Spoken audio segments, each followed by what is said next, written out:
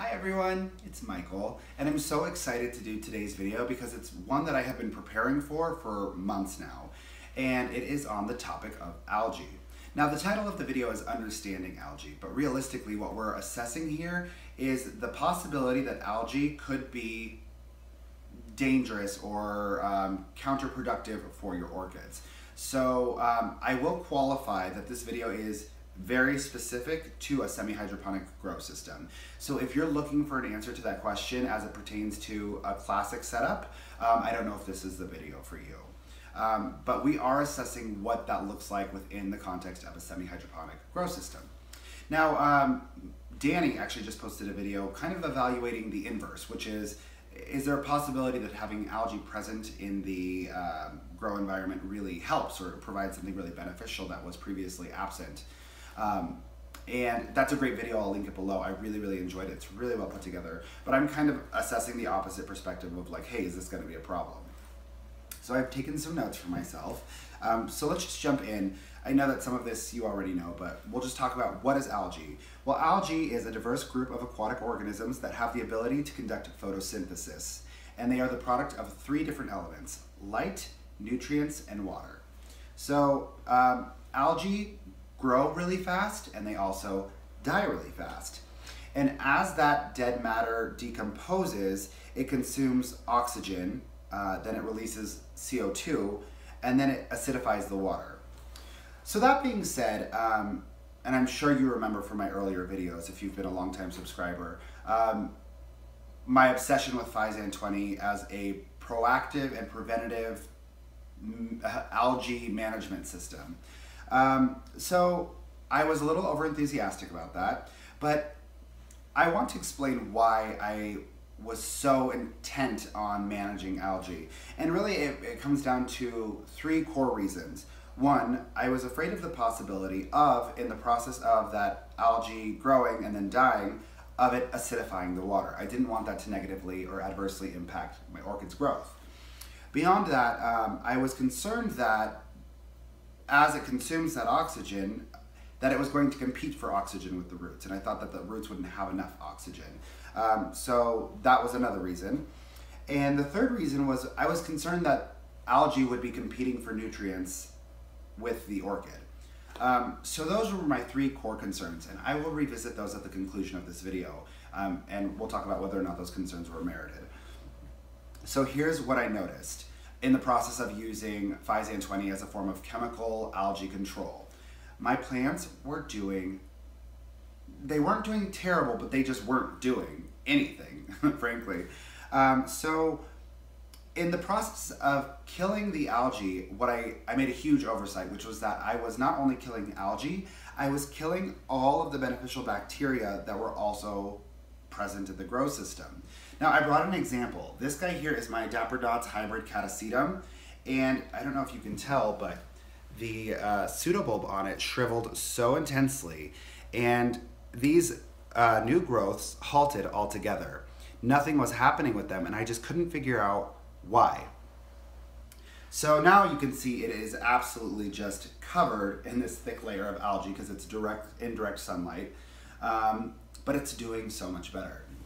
Now, as it pertains to what the function of the good bacteria is and how it operates, um, it's a little confusing. I just read a really interesting article about it, but the big takeaway is that, let me just make sure I get the verbiage on this right. Um, very little is known about the composition and full function of orchid-associated bacteria, but it is almost universally recognized to have great and favorable impact on the plant's health. So that being said, using Physan 20 monthly to treat algae was effective. All of my grow containers were clean. All of my leca pellets were still, they looked just brand new and it was very nice and it was very neat and it was very orderly, as I like things. Um, but it was just killing all of the good bacteria and really halting and stunting the development of my plants. So once I figured that out, I started doing something else which was stupid, which was I just started repotting my plants all of the time. So obviously in semi-hydroponics you have a little bit more leeway with repotting. It doesn't impact the plants as badly as it would say if you were doing classic medium. But even so, a lot of these orchids were in the process of still converting to semi-hydroponics. It, it can take anywhere before a plant really develops like significant momentum in this new grow environment, it can take up to four or five months. So within that four and five month range, I just kept unpotting plants because I just didn't want to look at the algae. Um, and that also adversely impacted their development and growth. So here is what I have come to speculate. This is my hypothesis. I think that the presence of algae shows that the plants are in a generally healthy grow environment. Um, and that's not substantiated by anything other than my own beliefs and my own experience. But when I see algae, and sometimes it'll take a long time for algae to begin to be present in a grow system, and it's because I haven't quite nailed the right nutrient balance or the right lighting balance. Um, but I've never seen algae present while a orchid is still struggling really badly, which is interesting to say. Um, so I'm just going to show you a quick clip um, generally of how it grows and its pattern of growth. I took a quick video earlier. So we're looking at an east facing window and the orchids that I have on the wall right next to it. And it's so interesting how the algae has developed and formed. You can see it's growing exactly where the light is. It's growing exactly where the nutrient solution and water reservoir are and where it has the optimal combination of moisture, nutrients, and light. So it's almost exclusively on the right side of each of these containers which is so interesting. But um, in the past, the presence of this algae really offended my delicate sensibilities. But look at them, they're all doing so well. These plants are just living their best life. Um, so let's get back for the conclusion. I want to review my original concerns, the three big concerns I had. The water becoming acidic in the water reservoir. Well, in a semi-hydroponic grow system, you flush regularly. You're supposed to flush every single time you water. And if you're doing that, not only are you flushing out some of that dead and decomposing matter from the algae life cycle, you're also flushing out that water reservoir and refreshing it. So that's not a real significant issue. My second big concern was this lack of oxygen. Well, here's the funny thing. In the process of repeatedly and foolishly repotting my orchids, what I noticed was the algae doesn't grow inside of the leca. It grows just around the edge. It grows in between the wall of the glass and your leca pellets. And it stays there. It doesn't reach inside the root ball. It doesn't go, it doesn't transgress that line within the grow system. It's really just on the edge. So the algae that you see is the algae that you have. So that being said, the way that leca pellets stack, they always have air between them. It's one of the reasons it's such an effective grow system. It's because it's such an airy medium.